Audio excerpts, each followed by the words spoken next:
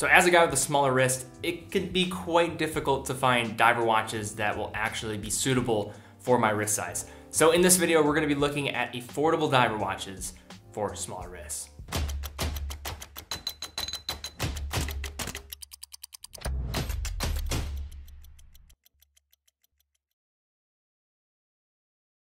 Okay guys, so for the criteria here, essentially just looking for diver watches under $1,000, case size less than 40 millimeters. That is essentially what we're looking for here. I know there's other things to think about when you're thinking about uh, just how a watch will wear on your wrist, the thickness, lug to lug, uh, but that's just the central criteria here for today. So to start off our list, we have a watch that certainly has quite a following in terms of having a cult-like following in the watch community. I know we hear a lot about Seiko having an incredible following, but these watches certainly have very close to it for those that do love them.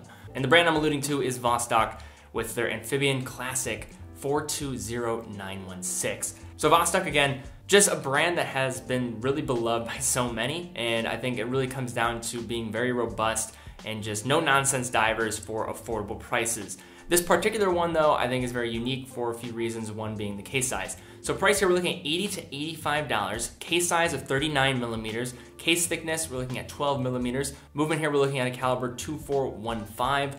Water resistance of 200 meters and has an acrylic crystal.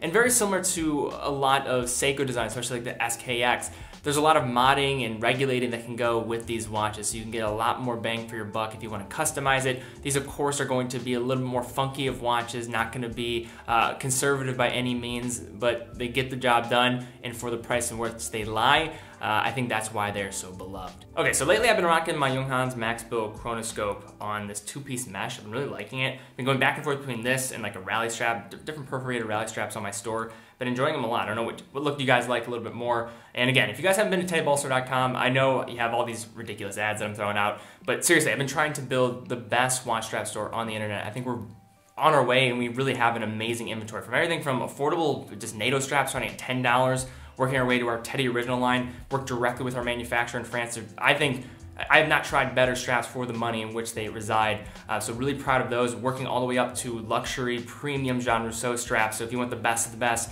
we have that all available. Hundreds and hundreds of watch straps are now available on our store. So you guys can go check that out. And also, I have a promo code for today. Use small divers at checkout to get a discount. I don't know how long that's gonna be active for, so get it while you can. Okay, so I wanna make this one pretty quick because I think I'm just so exhausted mentioning these watches, but I think they're certainly worthy of being mentioned. That's the Seiko SKX 013, and that watch comes in price of 200 to $300, case size 38 millimeters, so the smaller size variant of the SKX family. Case thickness 13.1, movement is a Seiko Caliber 7S26, water resistance of 200 meters, and has a Hardlex crystal. Diver certified, so beloved, has been really just a, a, watch that so many people have gravitated towards, and I know it's been kind of the gateway for so many people to get into the hobby. And the one problem with Seiko divers is the fact they're just so large. Uh, so for small wrist guys, Seiko is really not a great way to go for divers. But another one I think to consider, it will have a little bit larger form factor, but I think you can still make it work with the Seiko Mini Turtles. I love this, just the styling of the Turtle collection overall. I think they're my favorite looking Seiko divers. Uh, the only problem is when you go for the full size version, we're looking at 40 4 45 millimeters, uh, but the mini turtles a little bit smaller, uh, going about 42 and a half uh, millimeters, but that lug to lug uh, distance is going to certainly make it a little bit more wearable. Again, larger case size here, so it is going to wear larger than the SKX 013, but I have been kind of just mentioning these a little bit more because I just like the design a little bit more, as well as I think them being a little bit more uh, suitable for smaller wrists compared to a lot of Seiko divers. Okay, so next up we have a micro brand based in New York City. I've mentioned in my cool micro brand series. If you've not seen that series, uh, definitely check those out. Probably some of my favorite videos that I've done on the channel, and I think just uh, offering up some more obscure watch brands that are just kind of starting up. So Lorier, micro brand based in New York City, just owned by a husband and wife, Lorenzo and Lauren Ortega. Uh, the brand has gained quite a bit of attention from watch enthusiasts. I think it really just comes down to that vintage style design. And these watches here, we're looking at the Lorier Hydra. So they came out with the Neptune last year, got a lot of love. So we're getting case size here, 39 millimeters, case thickness 12 millimeters. Movement is a Seiko Caliber NH35A, price $399. Water resistance of 200 meters. And then crystal here is a plexiglass crystal. So this watch certainly has more of a vintage oriented design. Uh, which probably has been a little bit overdone at this point by a lot of just brands in general, especially micro brands, but I get it. I mean, they're catering to watches that maybe aren't being in production anymore, and I think this watch right here does a really good job. Uh, availability for these things kind of fluctuate a little bit. I think with a lot of these micro brands, they, they're constantly out of stock, so it's a little bit tough. But as of making this video, it looks like they are in stock. So the discussion around homage watches or homage watches has been talked about quite a bit on my channel. Mentioned in a couple videos and kind of went in more of a deep dive about my thoughts on them. Personally, I don't necessarily think they're for me, but I know there's so much appreciation. I think they do offer up something uh, for people that maybe can't cough off the cash for a very affordable design uh, and getting something that they can really enjoy. But I think for this particular watch we're going to be looking at here, you can even make more of the case why this might be uh, even more accepted, even by the biggest detractors of homage watches, just because of the overall design uh, catering to a design that was uh, really just now being uh, found in vintage timepieces by a very expensive Rolex watch uh, with the Rolex Milsub. And this watch here we have is the Steinhart Ocean Vintage Military 39.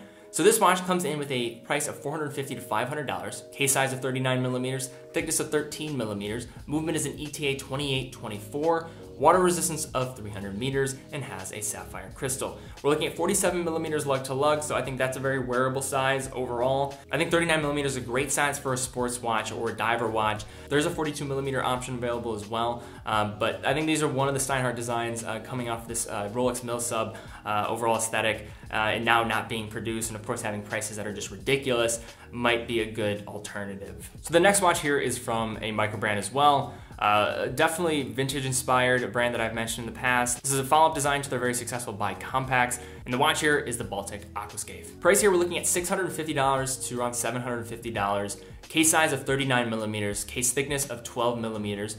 Movement is a Miyota 9039 water resistance of 200 meters, and has a sapphire crystal. So it comes in three different colorways, blue gilt, black silver, and black cream. So based in France, you have Super Luminova on the dial and the bezel and provides pretty good legibility. I have a Beads of Rice bracelet, which I think looks really good with this retro style. One thing I will say, you're getting a Miyota movement, not necessarily bad movement, but I think there will be some detractors here in terms of just the movement for the price. Uh, so I think this is just a very good looking watch. I think you're probably purchasing more on that element and that side of things.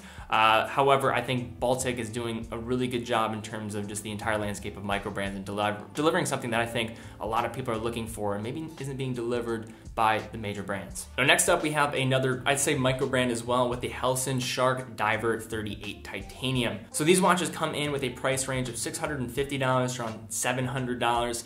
Case size of 38 millimeters. You have many different dial variants that you can choose from here. Case thickness, we're looking at 11.4 millimeters. Movement is a Miyota caliber 9015 water resistance of 300 meters, and has a sapphire crystal. So overall, I know many people prefer kind of the heftiness for their diver watches, but I think with this titanium case, the emphasis on being a little bit lighter weight and then also just wearing a little bit small on the wrist with that 38 millimeter case diameter, I think this will be a great option for those with smaller wrists. Again, you have multiple different dial colors, uh, bezel insert colors, as well as different case finishings that you can choose from and different strap options. But when looking at the entire landscape of divers under $1,000, finding many titanium watches available I think is certainly a small list. So interesting mention here. Okay, so next up we have a brand that I think creates some of the most rugged, durable watches on the market, and is Marathon. But Marathon watches overall, I think they do wear rather large. But this particular model that we have here, the Marathon Search and Rescue Medium Divers Automatic, does come with a definitely a smaller form factor, which is very pleasing to me. Price here $850 and $970. Case 36 millimeters, case thickness of 13 millimeters. Movement is a Sellita SW200 water resistance of 300 meters, has a sapphire crystal. This also comes with ISO 6425 uh, standard certification. You have option between a bracelet and a rubber strap, so that will be the main fluctuation in price. All these are assembled in Switzerland. You have tritium gas tubes on the hour markers. And I think all this comes together to really go into what Marathon is looking to do with a lot of their watches. I think well constructed, can take a beating, and very legible diver watches. All right, so next up we have a French brand, a brand that has roots back to 1948 with the Yema Superman Heritage. So these watches come in around $850 to just under $1,100. Case size of 39 millimeters, thickness of 14 millimeters, movement is an ETA 28242, water resistance of 300 meters, and you have the option here for just a bit of customization, mineral crystal or sapphire crystal. So the original Superman was released back in the 1970s, and this particular model pays tribute to this model. The other interesting thing about these watch, they were actually used by French Air Force pilots during the 1970s. Uh, so pretty interesting. There are uh, some interesting design traits as well, vintage inspired, like few of the watches on this list. I like just the kind of trend with that, and then also the matching it with the actual case sizes, staying true to a lot of this here. And just looking at this, you have a lot of just those cues that stay true to that design from many years ago. And now for the final watch on our list, we have the Christopher Ward C60 Trident Pro 600. So these watches come in with a price of $910, case size 38 millimeters, thickness of 12.7 millimeters, movement is Sellita SW200, water resistance 600 meters, and has a sapphire crystal. So a new generation of the MK3 of the C60 Trident Pro 600 recently got released and comes in multiple different colorways and different strap options. Uh, this particular model has that signature Trident counterbalance on the second hand, comes with a stainless steel bracelet, micro adjustable ratchet clasp, and quick release system. And Christopher Ward, a UK based brand, who really just seems to be uh, very online oriented, going direct to consumer with that model, selling through their website, not really having any authorized dealer structure, which I think does probably help them in a lot of areas in terms of really competing in that value for money space. All right, guys, if you like this video, be sure to give it a thumbs up, subscribe, hit that bell icon. That's a big way to help. Really, really appreciate when I see those likes.